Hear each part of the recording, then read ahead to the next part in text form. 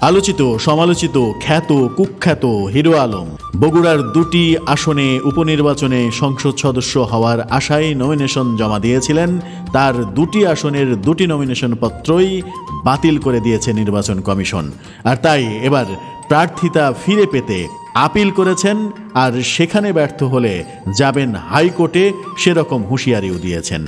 Hero Alam বলে কথা, সহজে কেন ছাড়বেন? আর ছাড়লেই তো আলোচনা বন্ধ হবে। তিনি তো চান আলোচনা, সুতরাং যেভাবে আলোচনায় থাকা যায় তিনি সেটিই করবেন। মনোনয়ন ফিরে পেতে মরিয়া হয়ে উঠেছেন নাকি হিরো আলম? বলেছেন জীবনযুদ্ধে যখন লড়াই করতে নেমেছি শেষ পর্যন্ত চেষ্টা করে যাব। নির্বাচন কমিশনে আপিল করে ব্যর্থ হলে হাইকোর্টে যাওয়ার ঘোষণাও তার। মঙ্গলবার রাজধানীর আগারগাঁয়ে নির্বাচন ভবনের আইন শাখায় প্রার্থিতা ফিরে পেতে আবেদনপত্র জমা দিয়েছেন হিরো আলম। গত রবিবার ন্যূনতম এক শতাংশ ভোটারের স্বাক্ষর সহ সমর্থন সূচক তালিকায় গরমিল থাকায় বগুড়া চার ও বগুড়া ছয় আসনের উপনির্বাচনে আলোচিত হিরো আলমের মনোনয়নপত্র বাতিল করে দেন রিটার্নিং কর্মকর্তারা। প্রার্থিতা ফিরে পেলে উভয় আসনেই নির্বাচন করবেন বলেই জানিয়েছেন তিনি। সুষ্ঠু নির্বাচন হলে তিনি শতভাগ জয়লাভ করবেন বলেও তার আশা। এখন হিরো আলম বলেছেন, কাগজপত্র সব আমি এখানে জমা দিয়েছি, যাচাই বাছাই বুঝতে পারব তারা সুষ্ঠু বিচার করল না অবিচার করল। এখান থেকে বাতিল করলে আবার যাব হাইকোর্টে। দুই আসন থেকে প্রার্থিতা ফিরে পেলে দুটি আসন থেকেই ভোট করব। তিনি আরও বলেছেন, একই ভুলের কারণে দু হাজার আঠেরো সালে আমার ভোট বাতিল করেছিল।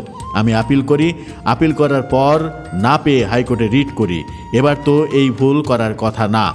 তারা যে কথা বলেছেন, একটা ভুল দেখা গেছে, একজন ভোটারের নাকি নম্বর খুঁজে পাওয়া যাচ্ছে না। আমি নাকি জমাই দিইনি। আমার নম্বর পেয়েছি, সেটা আমি জমা দিয়েছি।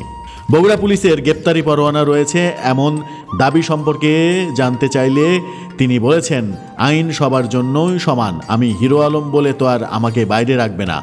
আমার সম্মান নষ্ট করার জন্য কিছু লোক অপপ্রচার চালাচ্ছে। এখন হিরো আলম তার সম্মান রক্ষার জন্য কিছু লোক অপপ্রচার চালাচ্ছে। এই দাবি যখন করছেন, তখন সমালোচক মহল কি পাল্টা প্রশ্ন করবেন?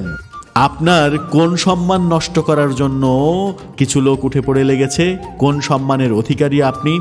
ইউটিউবে, ফেসবুকে বিকৃত রুচির, বিকৃত সংস্কৃতির ভিডিও কন্টেন্ট বানিয়ে বাঙালি সংস্কৃতির, হাজার বছরের বাঙালি সংস্কৃতির যে বারোটা বাজাচ্ছেন হিরো আলম, সেটা নিয়ে পুলিশি ঝামেলাতে উপড়তে হয়েছে তাকে। উল্টো পুলিশের বিরুদ্ধে যাচ্ছে তাই অভিযোগ করে আন্তর্জাতিক মিডিয়ার মন কাড়ার চেষ্টা করেছেন।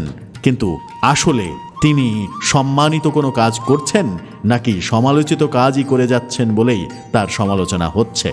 প্রশ্নটা অনেক বড় একটা প্রশ্ন।